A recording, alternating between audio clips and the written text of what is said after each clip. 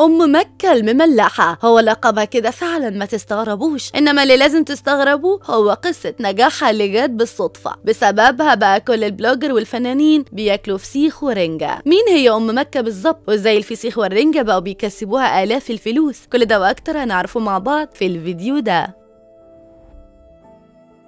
في البداية كده لازم تعرفوا إن الست بطلة الفيديو ده جابتها من الصفر خالص. لحد ما بقت أهم بائعة فسيخ ورنجة في مصر. بدأت حياتها من اللف على بيوت الناس تبيع ليهم ملابس بنات لحد ما بالصدفة البحتة عرفت طريق الفسيخ والرنجة واللي هو أقرب طريق لقلوب سيدات ورجال مصر. الفسيخ الأكل الأشهر والأحب لناس كتير. أكيد المغرمين بأكل الفسيخ والرنجة اللي بيتفرجوا علينا دلوقتي عارفين من هي أم مكة. واللي ما يعرفهاش فالحقيقة فايته كتير جدا الست دي واصلة للعالمية بصحيح.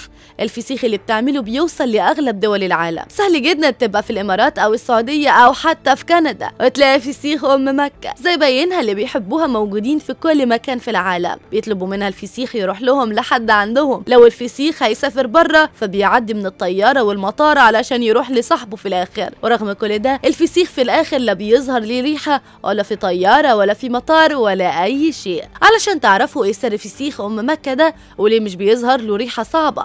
لازم تعرفوا حكايتها بالظبط أم مكة بدأتها مع الفسيخ جت بالصدفة. ده لما والدتها الله يديها الصحة بعتت لها فسيخ وهي حامل في بنتها. أم مكة وقتها ما رضيتش تاكل فسيخ علشان بنتها اللي كانت حامل فيها. المهم إن وقتها وبالصدفة لقيت واحدة على group الفيسبوك بتسأل على فسيخ حلو. قامت أم مكة بايعة ليها الفسيخ اللي جالها ده. لما الفسيخ راح للست دي أعجبت بيه جدا وشكرت لأم مكة فيه.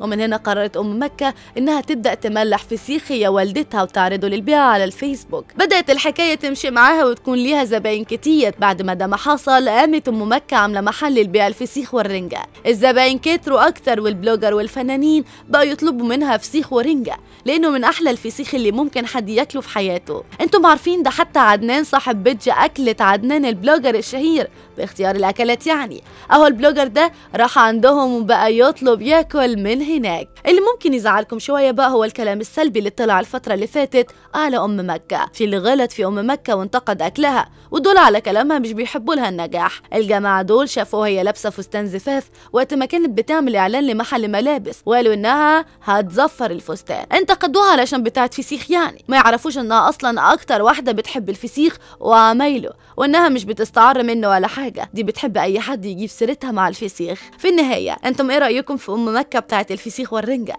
هل أنتم من معجبيها ولا لا؟ وقولوا لها بتحبوها قد إيه علشان عمايلها في الفسيخ ولا علشان قصة نجاحها اللي بدأتها من الصفر؟ شاركوني برأيكم في التعليقات.